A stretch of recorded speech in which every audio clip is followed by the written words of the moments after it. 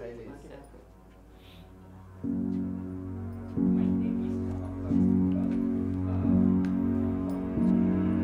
still on.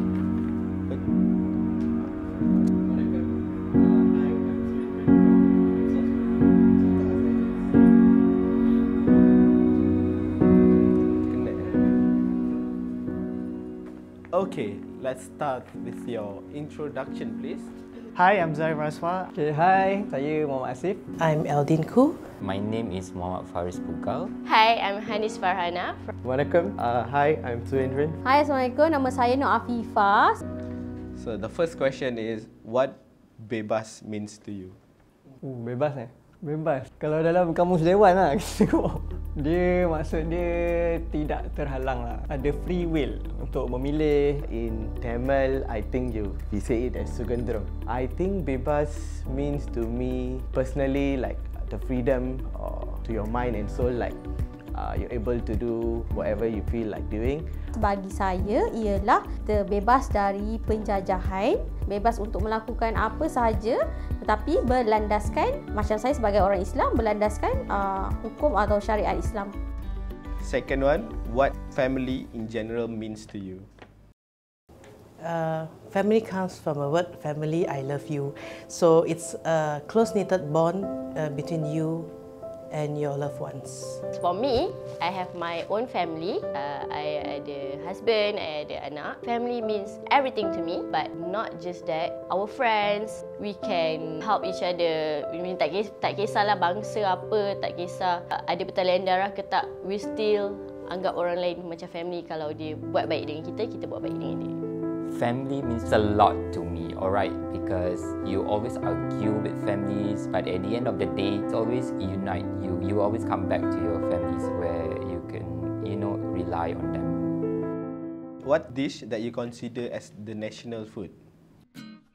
Tose, roti canai. My mom is a cook. Growing up with her, my mom always cook nasi lemak. We have nasi lemak. Nasi lemak. Well, we have thosai for Indian. Korang tahu tak burger Malaysia? Burger Malaysia, uh, ada orang panggil benda tu pau sambal tau. Dia just pau yang ada sambal and timun kat tengah tu. Hmm, Maggi goreng ah, Maggi goreng kambing. Char, char kway teow. Saya pilih untuk pencuci mulut, dessert. Kita ada cendol, kita ada ABC. Tak ada kat mana-mana, ada dekat Malaysia saja. Where are the places that you think represent Malaysia? Hmm. Mestilah Kuala Lumpur. Kuala Lumpur ada KCC.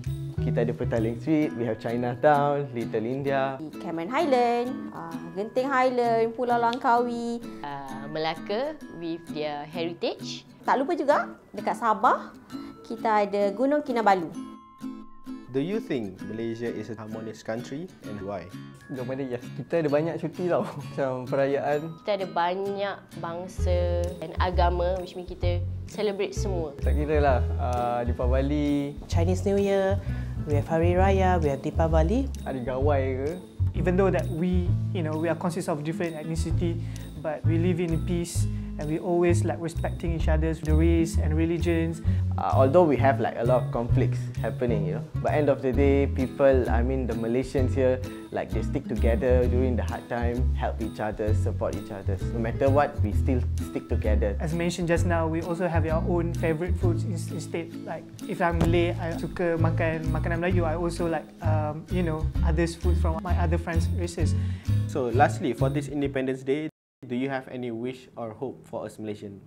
Okey, harapan saya agar kita lebih menanam semangat uh, patriotik dan cintakan negara. I mean, I hope for Malaysia to be, you know, um, progress better. I hope that we stay harmonious and together always. Dan kita kena kenang uh, pengorbanan pejuang terdahulu dalam mendapatkan kemerdekaan untuk negara kita, Malaysia. Masih berharap that kita masih bebas dari penjajah sampai hari ini dan I wish that we still kekal harmoni. yeah. Uh, Happy Independence to all Malaysians, to all my fellow friends and to all of you. Selamat Hari Merdeka to all of you and everyone. Selamat Hari Merdeka. Selamat Hari Merdeka! Uh, happy 65th Independence Day. Selamat Hari Merdeka. Selamat menyambut kemerdekaan yang ke-65. Saya bangga menjadi rakyat Malaysia dan selamat hari jadi ayah sebab sama umur dengan kemerdekaan Malaysia.